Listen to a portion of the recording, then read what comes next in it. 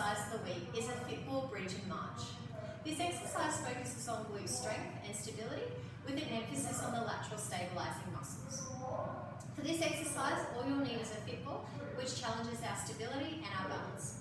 So to start with this one, we're going to roll ourselves out onto the wall, making sure our neck and our shoulders are supported. We're going to push through our feet, lifting our hips up into a nice bridge position. And then we're just going to start by lifting one heel off the ground and alternating sides. To progress this exercise, we're then going to start to lift one foot off the ground and alternating sides.